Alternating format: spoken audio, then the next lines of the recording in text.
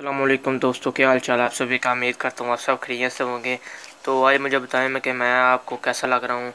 कहते हैं कि सच्ची मोहब्बत कभी किसी को, सच्ची मोहब्बत कभी ख़त्म नहीं होती। बस वक्त के साथ खामोश हो जाती है।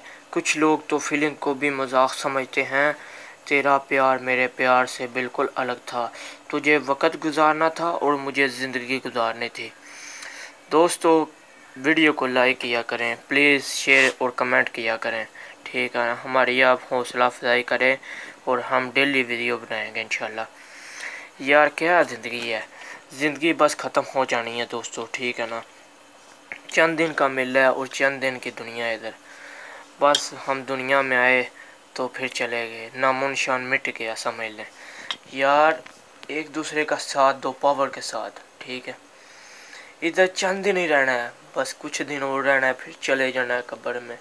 उधर ही हिसाब किताब होना है हमारा। हम इधर के हैं, कुछ भी नहीं। हम तो ना चीज़ से बंदे हैं भाई लोग, यार। कुछ भी नहीं है हम।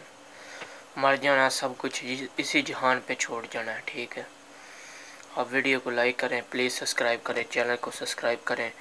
और अगली वीडियो की आने तक आपको इजाज़त चाहते हैं। अल्लाह हाफिज़। फिर